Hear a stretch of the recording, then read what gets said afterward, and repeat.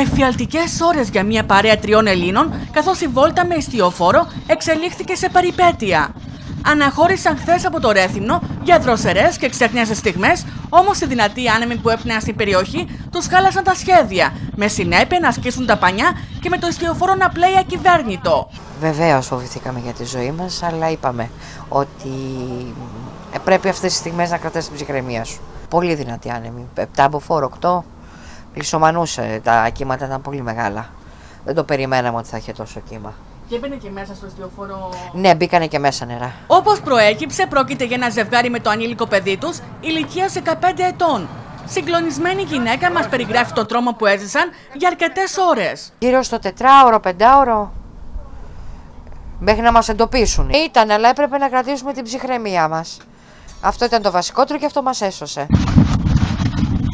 Χθες το απόγευμα σήμανε συναγερμό στο ενίο κέντρο συντονισμού έρευνας και διάσωσης του Αρχηγείου Λιμενικού Σώματος με περιπολικά πλοία από το λιμεναρχείο Ηρακλείου να σπέβδουν στη θαλάσσια περιοχή για τον εντοπισμό και τη ρημούλκησή του. Έχει μείνει ακυβέρνητο και πλέει σε περιοχή περίπου 25 ναυτικά μίλια βόρεια του Ηρακλείου.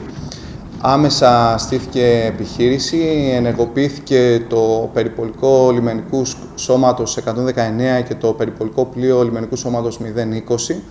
Προορισμός του ζευγαριού ήταν η Σαντορίνη, ενώ τελικός προορισμός η Αθήνα. Πρώτα έχει πρόβλημα με τη μηχανή.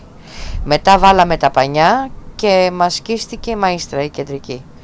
Ε, τότε πήραμε τηλέφωνο με το VHF, το SOS του λιμεναρχείου. Οι άνθρωποι ανταποκρίθηκαν άμεσα. Μετά από αρκετές ώρες το ιστιοφόρο μήκους 11 μέτρων εντοπίστηκε στη θαλάσσια περιοχή μεταξύ Κρήτη και Σαντορίνης. Επίσης στην περιοχή έσπευσε και το ρημουλκό ασφαλείας ε, λιμένα Ηρακλείου το Μινόταυρος. Η ακυβερνησία προήλθε από σχίσιμο στα πανιά. Τη μεγάλη επιχείρηση που στήθηκε στην περιοχή τα μεσάνυχτα και κάτω από αντίξωες συνθήκες περιγράφει ο λιμενάρχης Ηρακλείου ο οποίος παράλληλα δηλώνει ότι οι επιβάτες είναι καλά στην υγεία τους. Οι συνθήκες οι καιρικές ήταν πραγματικά αντίξωες, με ανέμους που έπνεαν πάνω από 6 μποφόρ. Ήδη είχε αρχίσει να πέφτει το βράδυ. Παρ' όλα αυτά, σχεδόν τα μεσάνυχτα και σε απόσταση 40 ναυτικών μιλίων βόρεια του Ηρακλείου, εντοπίστηκε το ακυβέρνητο ιστιοφόρο με τους τρεις επιβαίνοντες καλά στην υγεία τους. Ο, ο σύζυγος λίγο έπεσε προσπαθώντας να βάλει, χτύπησε λίγο το, τα πλευρά, δεν είναι τίποτα. Εγώ λίγο έγκαυμα λογικό, ο μικρός είναι μια χαρά.